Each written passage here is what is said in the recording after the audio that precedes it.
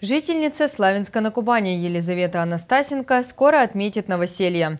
Она получила сертификат на предоставление социальной выплаты для приобретения своего жилья как вынужденный переселенец. Мы пообщались со счастливой обладательницей сертификата. Елизавета Анастасенко вместе с маленькой на тот момент дочкой была вынуждена переехать из Казахстана в Славянск на Кубани в 2002 году.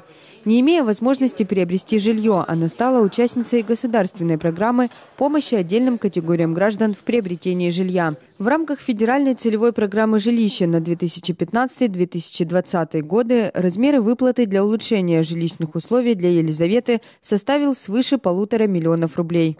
На эту сумму она планирует приобрести квартиру в Краснодаре. Говорит не для себя, а для дочки, так как подросшая дочь заканчивает школу и хочет учиться в краевой столице. Очень ждали, очень рады. Спасибо всем тем людям, которые нам помогали в этом.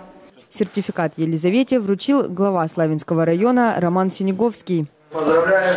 Спасибо. Успехов вам, удачи. А присмотрели уже жилье? Нет. Играйте хорошо, чтобы купить в хорошем месте, чтобы мечты сбылись.